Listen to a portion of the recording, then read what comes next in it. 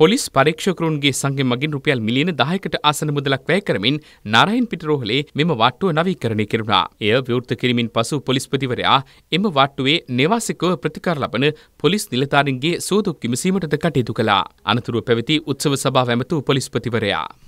ඔබ කවුරුත් දන්න විදිහට පොලිස් සේවයේ යෙදී සිටියදීත් ඒ වගේම අපි මිට සුළු මොහොතකට කලින් දැක්ක ආකාරයට පොලිස් සේවයෙන් විශ්‍රාම ගැන පසුව තමන් මිය නැතුරුම තමට සේවය ලබා ගත හැකි ආයතනයක් ශ්‍රී ලංකා පොලිසිය රෝහල අපි ඉදිරියේදී වැඩි දියුණු කිරීම සම්බන්ධව ඉතාමත්ම ඕනෑකමකින් යුතු කටයුතු කරන බව මේ වෙලාවම මතක් කරන්න කැමතියි. ඉතින් එතුමත් කිව්වේ අපි අලුත් අවුරුදු උත්සවය අවසන් වුණ වහාම ජ්‍යෙෂ්ඨ නියෝජ්‍ය පොලිස්පති සහායක සේවා සහ මේ පොලිස් රෝහලට අදාළ නිලධාරීන්ත් එක්ක සාකච්ඡාවක් යොදාගෙන සාකච්ඡා කරලා මේ අභිවෘද්ධිය සඳහා ගත යුතු ක්‍රියාමාර්ගත් ඒ වගේම මෙහි යම්කිසි ප්‍රායෝගික ගැටලු මතුවලා තියෙනවා නම් ඒවට විසඳුම් සොයා ගැනීමත් සඳහා ක්‍රියා කරමු කියලා. මොකද හේතුව අපිටත් අවශ්‍යයි මේ පොලිස් රෝහල කියලා කියන්නේ ශ්‍රී ලංකා පොලිසිය සතුව තියෙන ඉතාම වටින සම්පතක්. මේ තවදුරට වැඩි දියුණු කරලා අනාගත අවශ්‍යතාවය සම්පත සරිලන විදිහට මේක දියුණු කර ගැනීම ඉතාම අත්‍යවශ්‍ය කරුණක්. එස පොලිස් රෝහලේ අභිවෘද්ධිය සහ දියුණුව සඳහා ගත යුතු ක්‍රියාමාර්ග අපි ඉදිරියේදී ඉතාමත්ම ඕනෑකමින් යුතුව ගන්න බවත් මතක් කරන්න කැමතියි.